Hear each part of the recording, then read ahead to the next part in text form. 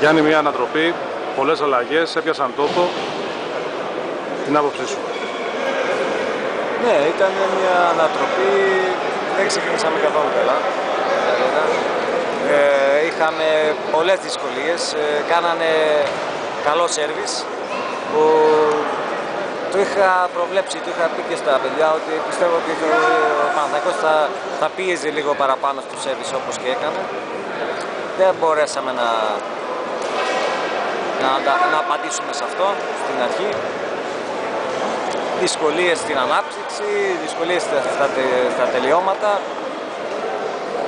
αναγκαστήκαμε και κάναμε κάποιες ε, διάφορες ε, Η σημαντικότερη αλλαγή ήταν του Τζούριτς που γύρισε κεντρικός, έτσι, και ο Δεσπέν διαγώνιος, Πασαδόρη.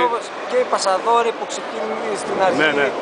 Ε, όλα δώσανε ένα μικρό κλικ, κλικ ένα λιθαράκι στο αποτέλεσμα αυτό.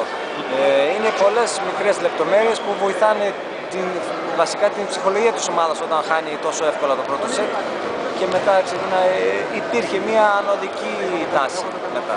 Τώρα στους ημιτελικούς, πάλι εδώ την Τετάρτη, ξανά από την αρχή. Ναι, αυτό είναι αλήθεια. Το είχα πει και πριν στα παιδιά στα ποδητήρια. Θέλω να κερδίσουμε σήμερα πάρα πολύ. Ε, αλλά ό,τι και να γίνει, χάσουμε και κερδίσουμε, αυτό που θέλω περισσότερο είναι το παιχνίδι της Τετάρτης. Αυτό είναι σημαντικό και καθορίζει το μέλλον. Μάλιστα. Ευχαριστώ πολύ.